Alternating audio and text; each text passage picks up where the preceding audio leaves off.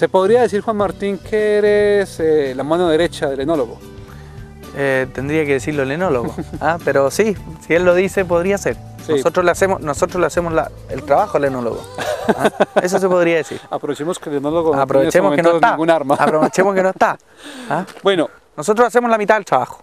¿y eso qué quiere decir?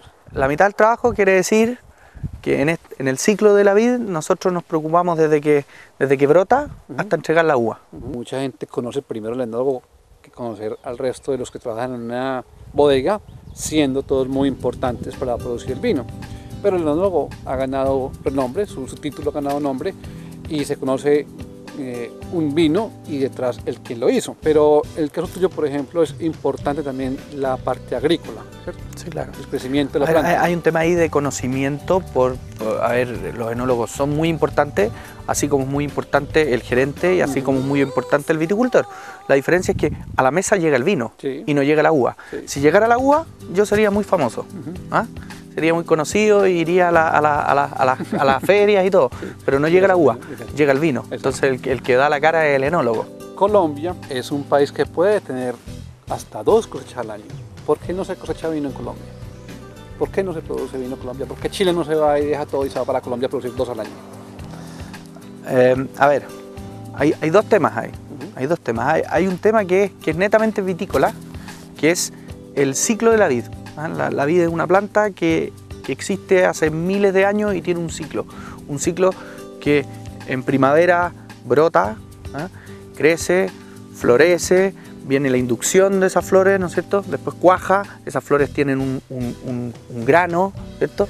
Eso madura, se cosecha, cuando se cosecha, las hojas caen, la planta duerme, acumula sus reservas para brotar a la primavera siguiente. ¿ah? Y eso es así porque esta planta funciona así.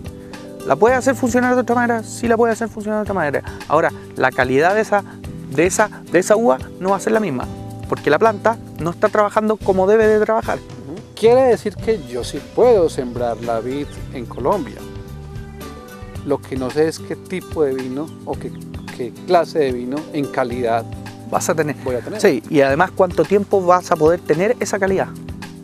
Porque como a la planta la estás haciendo trabajar en una condición climática que no es la que la planta debe de trabajar, la planta no te va a dar lo que te tiene que dar, porque no está trabajando como debe de trabajar. Finalmente lo importante no es que tú como ingeniero agrícola le entregues al enólogo una uva que tenga las características para producir el vino que él quiere.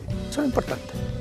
Eso es lo importante, pero para producir esas características tiene que trabajar, la, la- la vid tiene que trabajar como está hecha para trabajar. con todo el gusto.